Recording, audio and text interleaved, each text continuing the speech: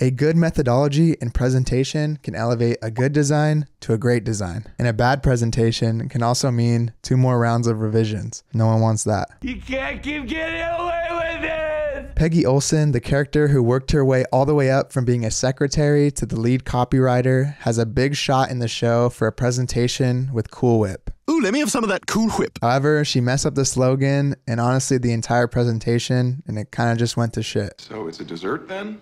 Just try it already. That's the thing, too. Peggy had the skills. She was one of the most talented people at the firm, but at times she would crack under the pressure or get distracted by trying to impress Don rather than the client. So, not only do you have to create your best work as a designer, you have to be able to talk about your work.